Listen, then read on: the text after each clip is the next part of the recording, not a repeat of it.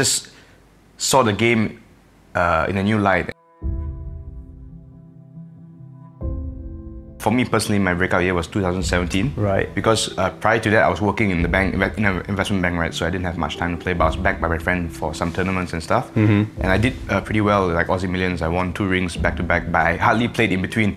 So if you look at my Hendon Mob, it's pretty sick. It says like Aussie Millions accumulator number one, and then immediate next entry is Aussie Millions accumulated the next year number one. Number one, so right, it, look, right. it looks like a typo, like someone made a Yeah, mistake, yeah. but I had no catches in between because I didn't really play much.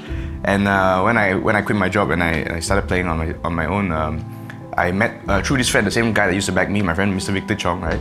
And uh, we met some friends. I met Kitty Kuo and I met some of a crew. This was in like uh, December 2016, and uh, obviously they were much better players than me at the time, and.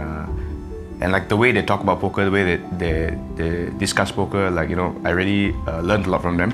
And then uh, there was this uh, seminar by Fedor Holz organized by Kitty uh, and Victor and stuff in China, and I was like, I went along to help uh, with the event, and uh, just watching that one one course or whatever training seminar, like really like a lot of light bulbs click in my head, you know, like a lot of things about how they see the game and like you know Pio Solver and all this this kind of stuff and Rangers how they interact and and a lot of things just clicked and then uh, from that point onwards I like you know talk poker with a bunch of these guys and then uh, I bought this course called Raise Your Edge.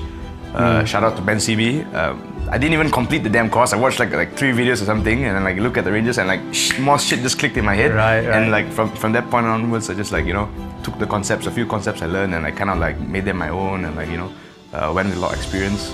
But I'm back on the course. I'm trying to complete it. Yeah, I'm, I'm- right now I'm trying to complete it, and like you know got, got that motivation back. You know, study more. You know, work harder, that kind of thing.